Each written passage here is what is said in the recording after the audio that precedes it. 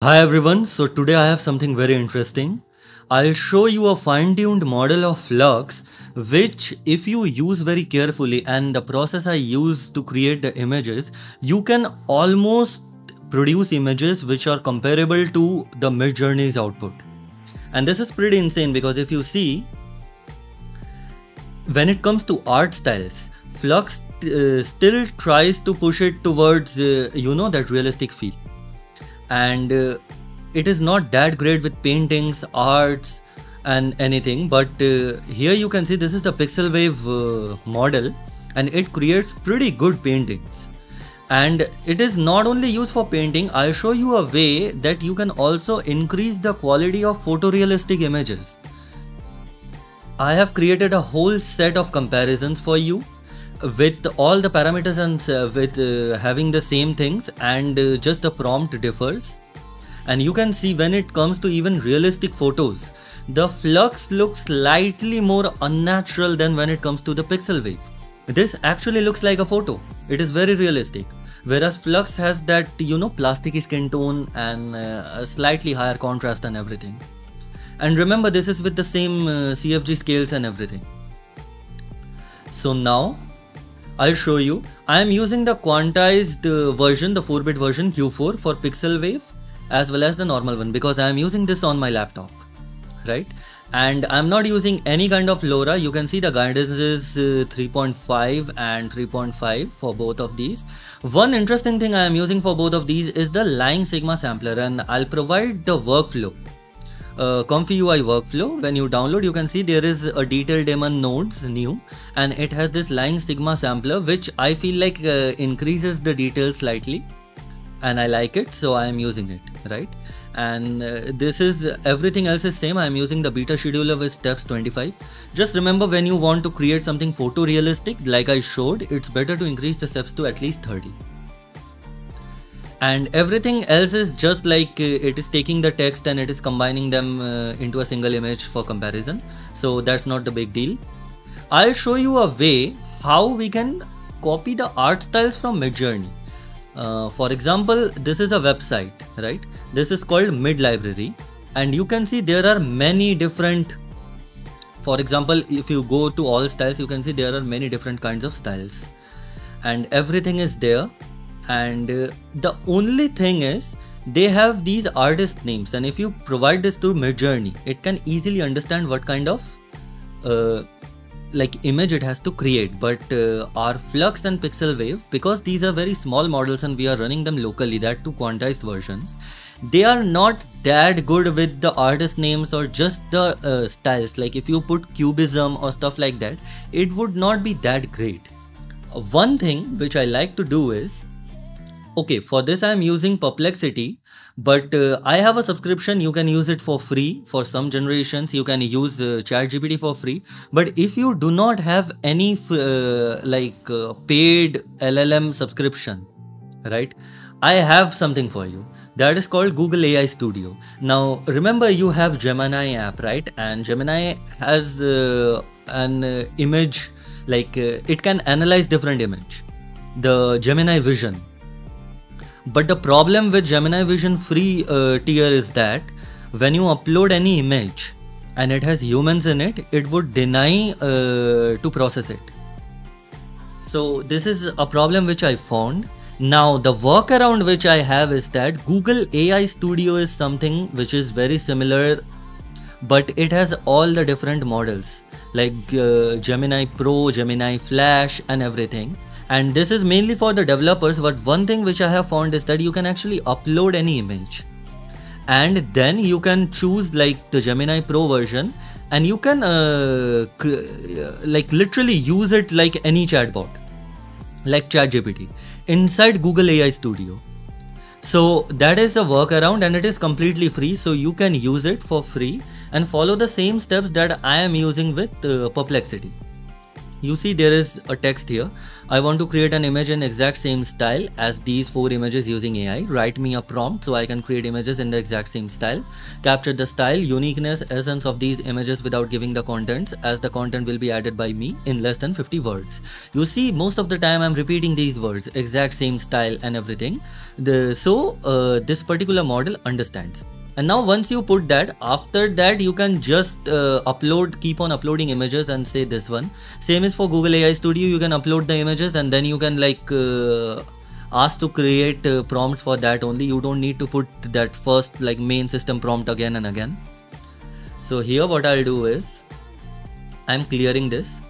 I'll go to this website and it has hundreds like thousands of different styles. I'll just copy this because i liked it. And I'll paste it and I'll just say this one. Now remember one thing, you can see that this is a black and white image, right? And in Comfy what I'm doing is whatever the prompt I will be getting, I put the content in first. Like this is what I want to recreate. Uh, and this part is basically the style, style description.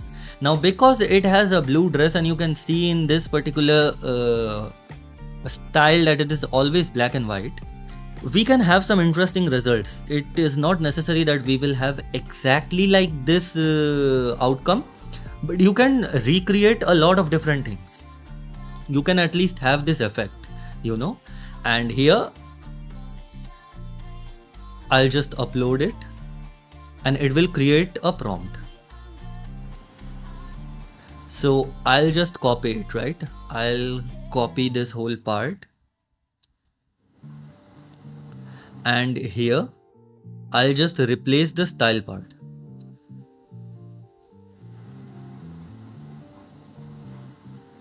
So guys as you can see that the generations are complete and for the normal flux model it still looks like a photography and uh, when we see the pixel wave now one thing you would have noticed is that this uh, was the image right that we were using and although it is not exactly the same like the style is not exactly same there are more like scratchy lines in these one but it's still that you know the charcoal kind of effect.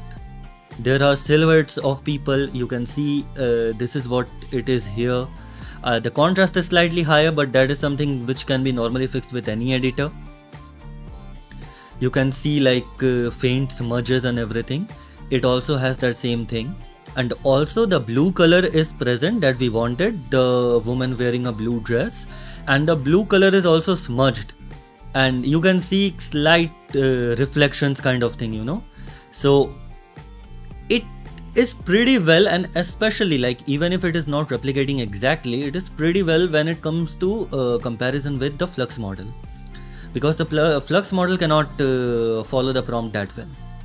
So this is one thing. And now I'll show the different uh, images that I generated. And uh, the main image was uh, the main content was same. The blue dress a woman in a blue dress right? This was uh, pop art. You can see like the main focus was for pop art. And uh, the right one is pixel wave left one is flux. You can see if i zoom in it has that uh, you know papery kind of texture even where the blacks are. This is not true for flux. So a slight modification but uh, even flux performs very well. This was high contrast monochromatic art style ethereal flowing fabric you know. Textures abstract motion blur effects and you can read the whole prompt. Now this has that flowing dress you know but this looks pretty natural and real. This is more uh, something which we would expect with a fantasy kind of photography or vfx or something like that. This does not seem like a real dress that we were aiming for. We were not like ethereal uh, flowing fabric texture. We did not want a normal dress just flowing. So it kinda i think like uh, follows the prompt very well but then again this is very close now it excels when it comes to photography. You can see this is uh, I am using this technique like uh, put any image name .cr2 and this used to be a Canon RAW file format previously. And uh, red crop top denim shorts pin up pose bed up uh, bedroom background.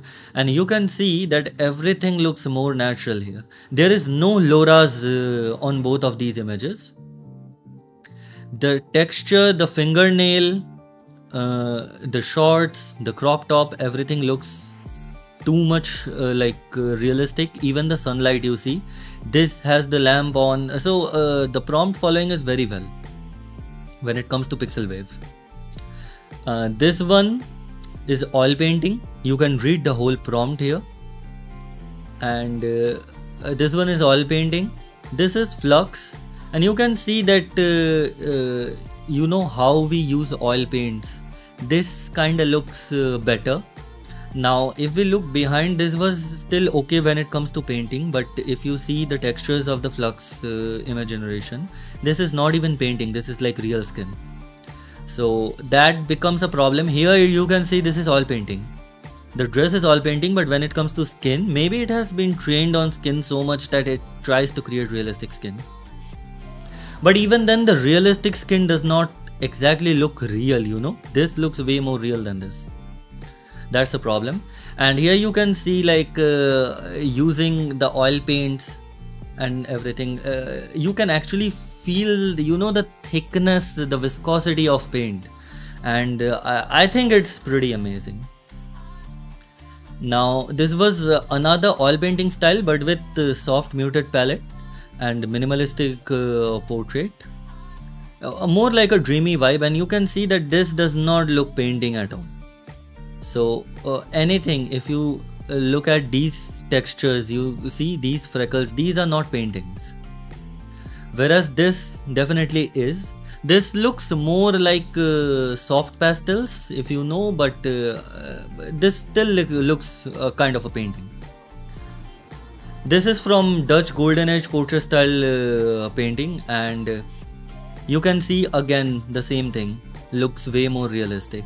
Like it has the vibe it has a dress and everything going on but it is not uh, you cannot say this dress you know this fabric this is painted. This looks very real. This looks like a cosplay.